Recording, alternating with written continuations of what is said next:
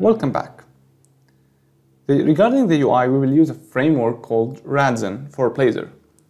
It's a very, very nice UI and it has a very huge amount of uh, controls or elements for the UI that you need across all your applications from forms to containers, general like buttons, icon, image, dialogues, notification. It has almost everything you need in building your apps. This is one of the frameworks, but I prefer this rather than others. Like there is a MatBlazor, which is for material design, but I think Radzen is very good. Now, to get started with Radzen first, we should do very few steps. First one is to install the Radzen uh, from NuGet. You can go for NuGet packages here, like manage NuGet package and search for Radzen.blazor okay this one hit install.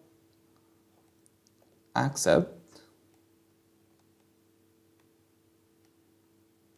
Okay it's ready. Now the second step is to go to www index html and import the css and js files that are related to Radzen you can find them here. Copy this line all the code we are writing and working on during the course going to be available on github. You can find the link in the description box below so you can follow step by step or you can fork the project. If you want to add changes or to see the code manipulated in the way you want it's going to be available on github. Now the js file. And paste it here. Okay. Close this is everything we want. It's pretty simple. Now we can just go for imports, which is just a very basic file that contains, that imports all the uh, namespaces that we will use in our components. So we can import radzen.blazor. Okay. Save.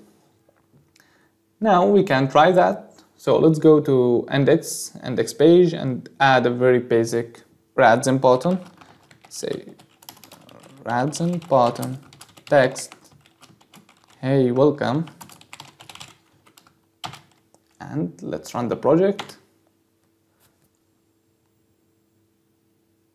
Okay, this is our new nice button.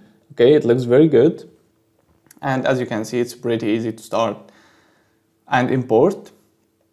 Okay, now starting from the next video, we will start with authentication. First by defining the layout of login and register page because login and register will have a different layout uh, other than the normal stuff in the application because you know uh, the user won't be registered so he shouldn't see the menu or something like this we will see all of that in the next video